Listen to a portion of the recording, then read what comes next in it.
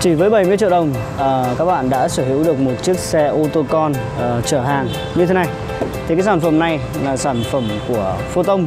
Chiếc xe tải van này là một trong những cái chiếc xe mà hiện tại đang có một mức giá vô cùng rẻ trên thị trường.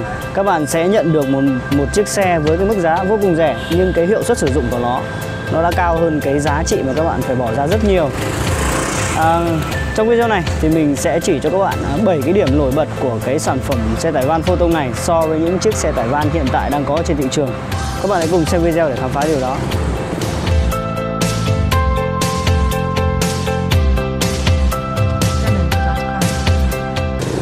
Chào mừng các bạn đã quay trở lại với kênh ô tô thiện nhân à, Chúc các bạn có một ngày làm việc hiệu quả Hôm nay chúng tôi sẽ à, làm một cái video không mới nữa à, Đó là một cái chiếc xe về à, à, một cái chiếc xe màu cam này của Photon à, Nhưng trong video này thì mình cũng xin nhấn mạnh lại 7 cái điểm nổi bật của cái sản phẩm này So với những cái sản phẩm hiện tại đang có trên thị trường.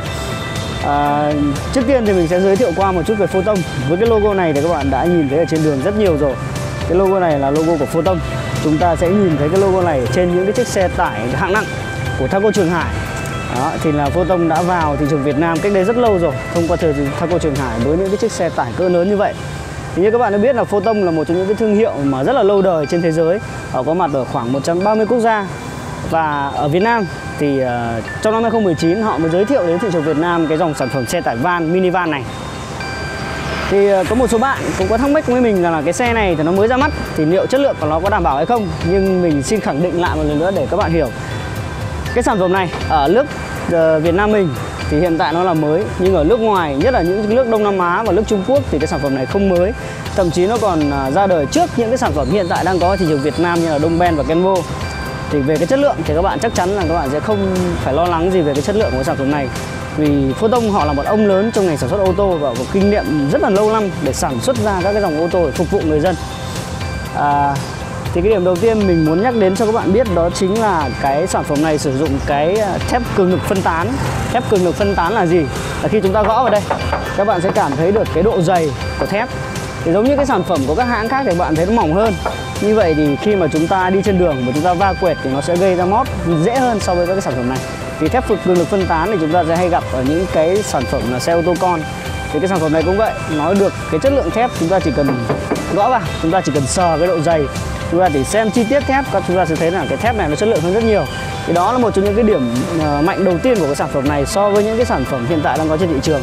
Cái thứ hai mình muốn chỉ đến đến cho các bạn đó chính là cái hệ thống lốp lớn.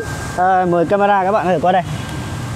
Lốp này là lốp uh, 175 R14 nó to hơn một cỡ so với các cái sản phẩm hiện tại đang có trên thị trường.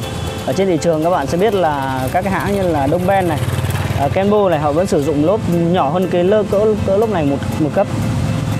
Thì đó là cái điểm thứ hai và cái điểm thứ ba là gì mình muốn nói tới đó chính là trái tim của cái sản phẩm này. Cái sản phẩm này đang sử dụng cái bộ máy à, đam của Đức ờ, công ờ, dung tích là 1.5 lít, công suất cực đại là 85 kW ở 6.000 vòng quay. Thì với cái công suất lớn như vậy thì nó cho ra một cái moment xoắn cực đại lớn nhất trong phân khúc, đó chính là 142 nanomet. Với cái mức tiêu hao nhiên liệu của sản phẩm này chỉ từ 6,5 lít trong 100 km thì đây là một trong những cái bộ máy có thể nói là khỏe nhất trong phân khúc. Các bạn không thể tìm thấy bất kỳ một cái bộ máy nào uh, mà có chất sức mạnh mạnh như cái sản phẩm này. Thì mình cũng bật mí thêm một chút cho các bạn hiểu rằng là cái sản phẩm này là sử dụng chung cái máy so với một số các cái hãng đang sử dụng cái máy này cho cái xe khoảng 2 tấn của họ đó. một bộ máy mà sử dụng cho các cái chiếc xe 2 tấn mà lắp vào một chiếc xe tải van trọng tải có 950 kg thì các bạn hoàn toàn yên tâm về sức mạnh của sản phẩm này. À, tiếp theo chúng ta sẽ đi tìm hiểu về cái à, cái điểm mạnh thứ tư của cái sản phẩm này. Đó chính là hệ thống khung gầm. Thì như các bạn đã biết rằng là một chiếc xe tải à, có chất lượng tốt hay không thì chúng ta sẽ phải à, xem cái chất lượng khung gầm của họ có tốt hay không thế như ở đây chúng ta sẽ nhìn thấy cái chất lượng thép và cái độ dày của thép nó rất là chất lượng. Có thể nói là rất là xịn sò. Đó là một trong những lý do mà mình đã nói đến cái sản phẩm này là hiện tại có một mức giá rẻ hơn rất nhiều so với cái giá trị thực của nó. Chúng ta sẽ có một chất lượng ờ, khung gầm tuyệt vời, có thể nói là tuyệt vời. Đó là cái điểm mạnh thứ tư. Cái điểm mạnh thứ năm thì chúng ta sẽ phải ờ, vào khoang cabin. Mời các bạn vào đây.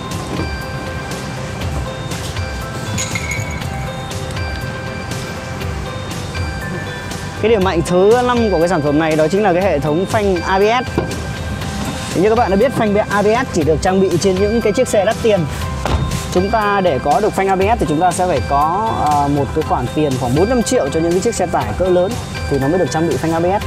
Phanh ABS nó sẽ đắt hơn rất nhiều so với cái phanh bình thường. Nó là hơn mấy chục triệu đấy.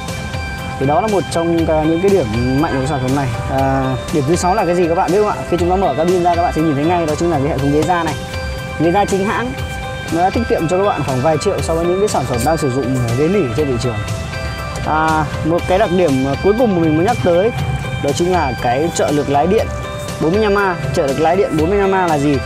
Là khi các bạn à, ừ, lái xe thì các bạn sẽ thấy rằng cái à, cái sự ổn định của cái trợ lực lái nó là một trong những cái yếu tố quyết định lên à, cho các bạn cái xe nó có ổn định hay không thì cái sản phẩm này được sử dụng cái trợ lực lái 45A rất giống như những cái sản phẩm hiện tại đang có trên thị trường. À, những chiếc xe con đang có trên thị trường. À, mình xin đính chính lại một chút. Ok cái sản phẩm này vẫn giống như những chiếc xe khác. Một cái cabin nó giống hầu hết những chiếc xe con hiện tại. À, hệ thống hộp số 5 cấp. À, 5 số tiến và một số lùi. Ok như vậy là mình đã